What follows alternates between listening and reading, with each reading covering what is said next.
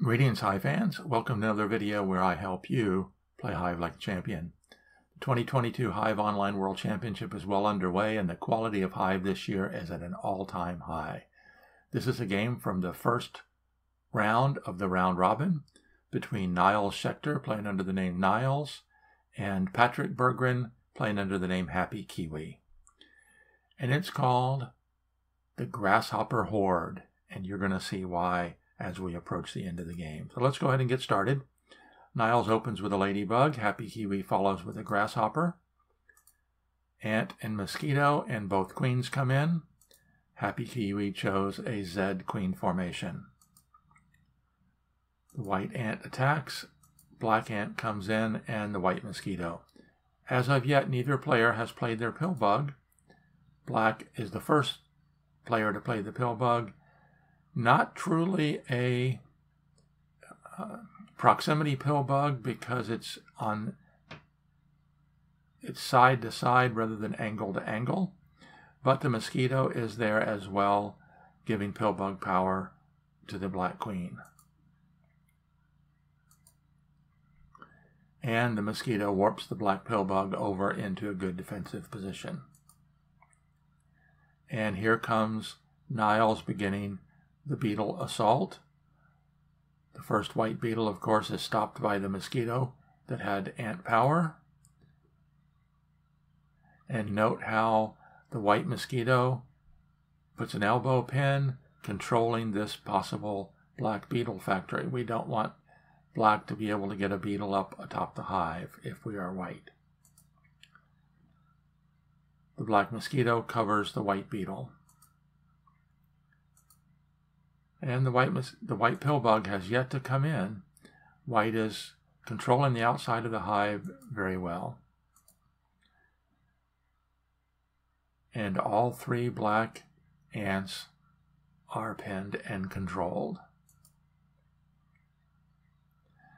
Many times when you see a situation like this where a black spider uh, spawns off of a, an ant that's already pinned, you'll see the uh, pinning bug swing out and make this into a double pin. But the disadvantage for white to do that is the white mosquito currently has ant power. If it moves out here, it will lose ant power, only have spider power. And again, this beetle factory would open up here.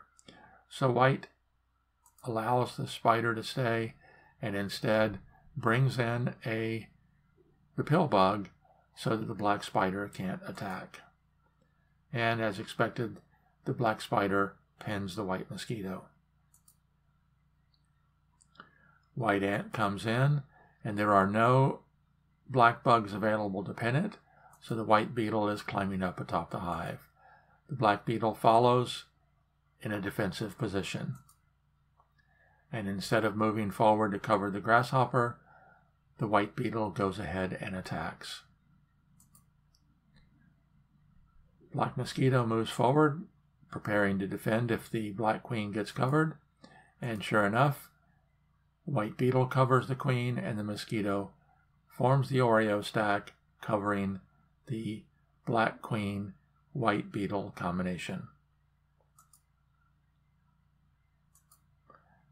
The White Spider comes in, possibly to do a, a pin replacement, but instead it attacks. First, the white spider comes in. Black forms a ring.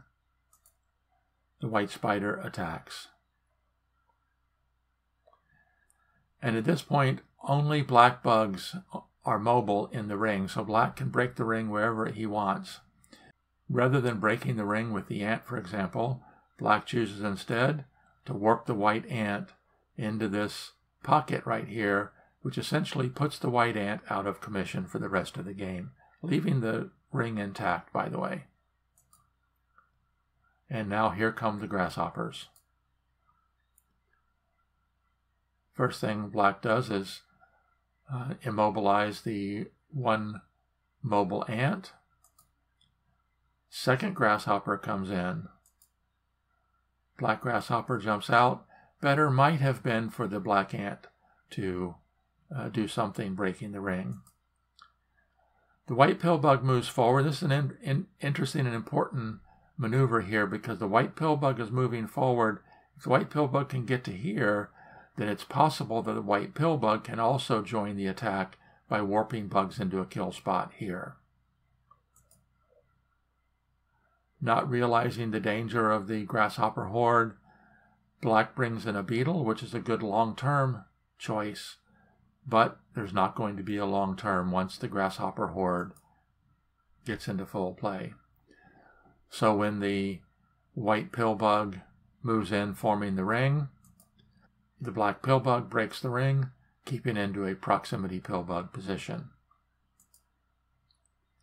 And the final grasshopper comes in. Now let's take a look here at white's bugs. White needs four kill spots filled to win. All three grasshoppers have angles of attack.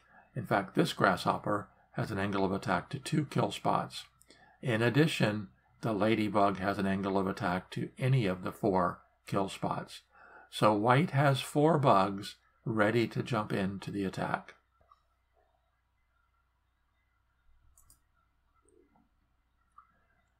The black grasshopper jumps out. Notice the reason for the black grasshopper jumping this direction is if either one of these spots get filled, it frees the black ant to be used for defense. But white comes up with a very interesting way to stop that.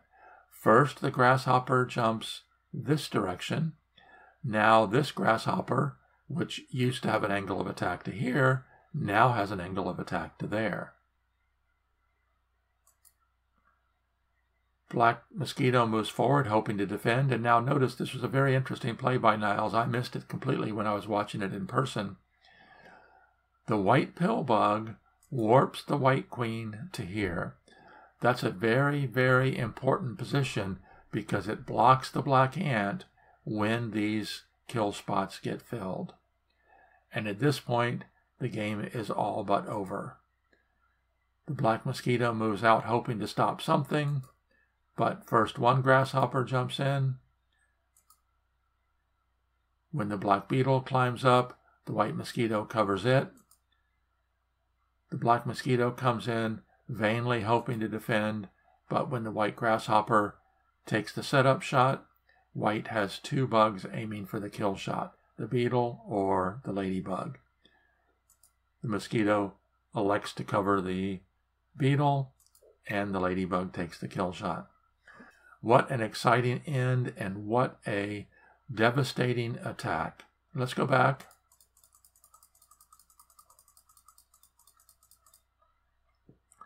As the first grasshopper comes in, we're going to go through it very quickly. Notice how very quickly all three grasshoppers come in. The grasshopper hoard proves victorious. Congratulations, Niles, for a great game. Of course, this is only the first game of a four game match and the first round of the three rounds of the round robin. Top two players in each group of four moves on to the knockout rounds later in the tournament. Thanks again to everybody for watching. Thanks for Niles and Patrick for this fantastic game. I wish them well in the continuation of the tournament. As always, there are links down below. If you'd like to help support the channel, you can buy me a coffee. There's a link there as well. I'm hoping that before the end of the summer, I'll be able to buy a new computer, new, faster computer that will allow me to live stream uh, much better than I have been.